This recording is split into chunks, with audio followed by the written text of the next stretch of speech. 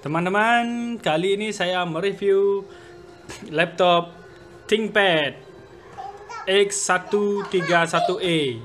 Nah, ini laptop yang ditujukan untuk sekolah.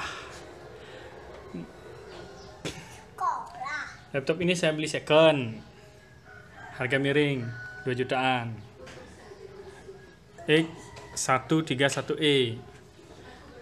ThinkPad ThinkPad ini bro. Build quality-nya masih bagus. Kalau tidak salah nih keluaran tahun 2009 eh 2012 salah saya.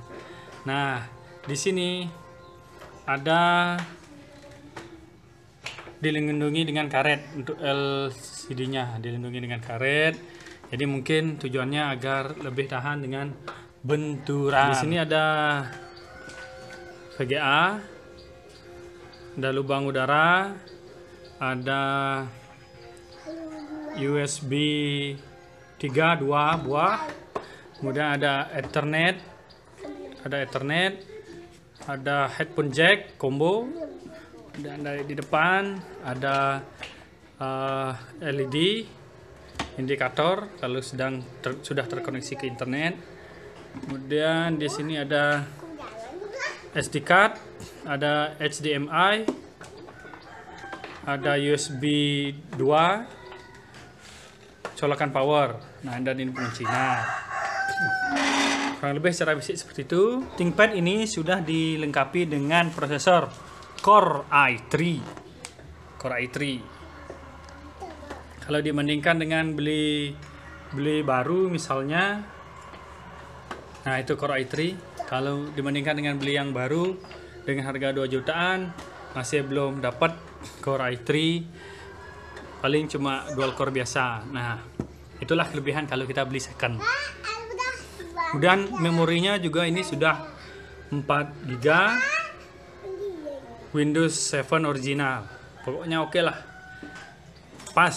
Semoga uh, laptop ini awet untuk dipakai nah tujuan saya beli laptop ini adalah untuk diberikan dipakai oleh ponakan saya sendiri yang sedang yang sekarang sudah SMA. Tuh. Seperti biasa Windows 7 eh, apa namanya?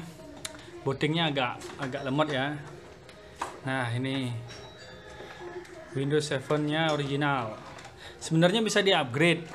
Cuman saya rasa mending tidak di-upgrade dulu lah. Karena masih baru tadi saya beli. Lihat sistem properties nih Core i3 2000 nih seri kedua seri, apa generasi kedua Sandy Bridge 1,4 GHz kemudian 4 GB RAM Windowsnya sudah 64 bit oke okay. Nah ini sudah terkoneksi dengan WiFi. Bisa dilihat di sini. Ah, dia pakai indikator. Kalau misalnya terkoneksi dia akan nyala. Tuh. Lampu ini nyala. Nah dari sisi keyboard keyboardnya ini sangat khas. Keyboard dari ThinkPad ya.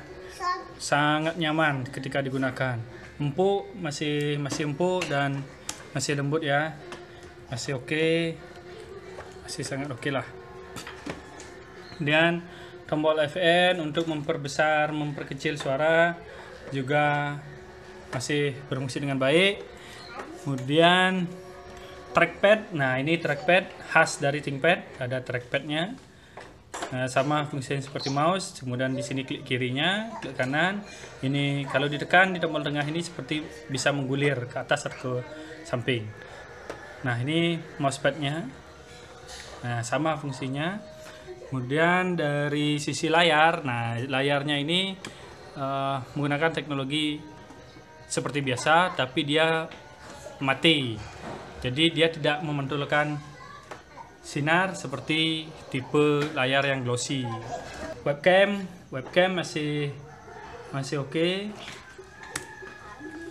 Setelah saya coba semuanya masih bisa berjalan dengan baik. Inilah ThinkPad X131 E